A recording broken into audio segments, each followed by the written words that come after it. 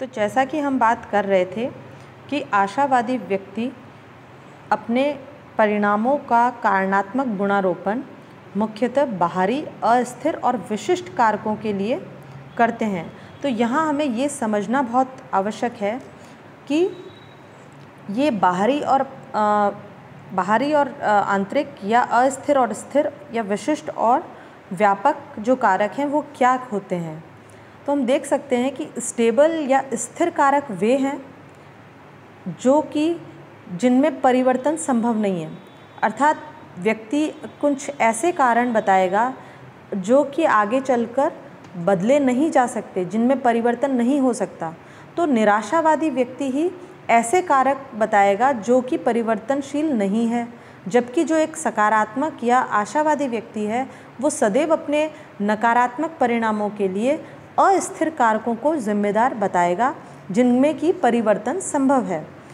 यानी, अगर एक स्टूडेंट है तो वह ये कह सकता है, यदि उसका परीक्षा परिणाम अच्छा नहीं आया तो एक स्टूडेंट जो आशावादी है, वो कहेगा कि परिणाम अच्छा नहीं आया क्योंकि मैं ज़्यादा मेहनत नहीं कर पाया, या मैं एग्ज़ाम में समय पर नहीं पहुँच पाया, या इस साल का पेपर टफ था तो ये तीनों ही ऐसे कारक हैं जो दर्शा रहे हैं कि इन सब में परिस्थितियों में परिवर्तनशीलता आ सकती है। वो समय पे पहुँच सकता है वो अधिक मेहनत कर सकता है और पेपर न हो सकता है अगली बार इजी आ जाए।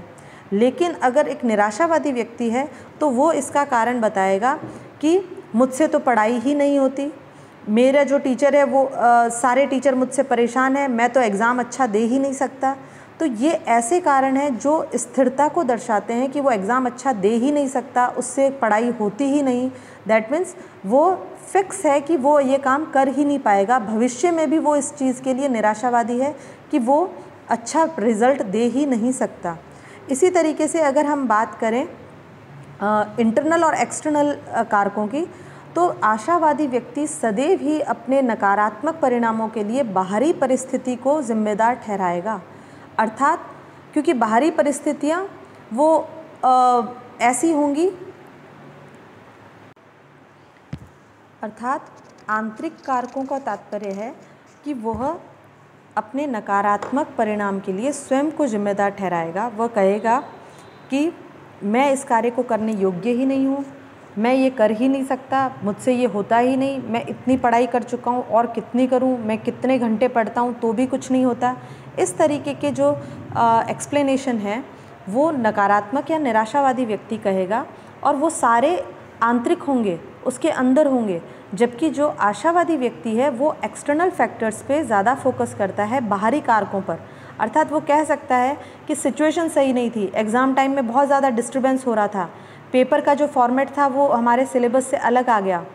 तो इस तरीके के जो कारक हैं, वो बाहरी कारक हैं जिनमें कि परिवर्तन संभव है या वो चाहे तो परिवर्तन हो सकता है। और इसमें एक सकारात्मक या आशावादी व्यक्ति की उम्मीद नज़र आती है। इसी तरीके से अगर हम देखें तो आशावादी व्यक्ति सदैव ही स्पेसिफिक कारकों की बात करेगा, वो नकारात्मक परिणाम के लिए सदैव ही कुछ विशिष्ट कारकों पर ध्यान देगा। अर्थात वो कहेगा कि टीचर पढ़ाने में सही नहीं था। या हमारा जो क्वेश्चन पेपर आया, वो सिलेबस से बाहर का था, उसमें कुछ दिक्कत थी तो वो स्पेसिफिक कारण बताएगा। जबकि जो एक निराशावादी व्यक्ति है, वो उनमें अधिकांशतः ग्लोबल या व्यापक कारणों को ढूंढता है कि एग्ज़ाम तो होते ही ऐसे हैं, इन एग्ज़ामों को क्लियर करना बहुत टफ़ है, ये कॉम्पिटिटिव एग्ज़ाम तो बहुत ज़्यादा टफ़ होते हैं, बहुत कम लोग पास कर पाते हैं। तो इस तरीके के जो विचार हैं, वो व्यापक, एक छोटी सी चीज़ को वो व्यापक नज़रिए में रख लेगा कि ये तो संभव ही नहीं है, हो ही नहीं सकता।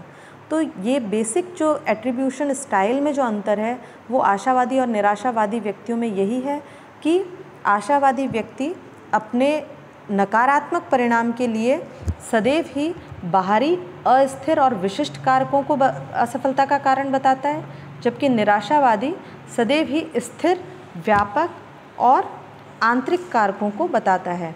और इस तरीके से आप देख सकते हैं कि यदि हम बात करें, किसी भी बुरी घटना का अनुभव होने पर व्यक्ति उसमें आंतरिक कारक यदि ढूँढने लगे, यदि वो उसमें व्यापक कारकों को ढूँढने लगे तो वो एक निराशावादी व्यक्ति है, जबकि आशावादी व्यक्ति इसके विपरीत कार्य करता है। तो ये बेसिक डिफरेंस है और इसके आधार पर हम आशावादी और निराशावादी व्यक्ति में अंतर स्पष्टतः बता सकते हैं। आशावादी सदैव ही आगे के लिए, भविष्य के लिए उम्मीद छोड़ता है, उम्मीद रखता है कि भविष्य में ये चीज़ सुधर सकती है, सही हो सकती है।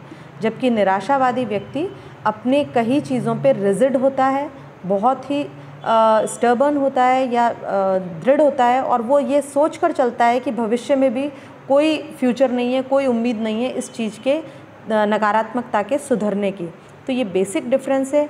इस तरीके से हम देख सकते हैं आपको इस एक जो चित्र है, इसमें भी आपको दिखाया गया है कि जो नकारात्मक व्यक्ति है, वो सदैव ही नकारात्मक चीज़ों या परिणाम के पास रहता है, जबकि सकारात्मक व्यक्ति उनसे एक डिस्टेंस मेंटेन करके रखता है। वो भूत की तरफ़ नहीं जाता, बल्कि भविष्य के प्रति सकारात्मक परिणामों को लेकर बहुत ही दृढ़ होता है। Thank you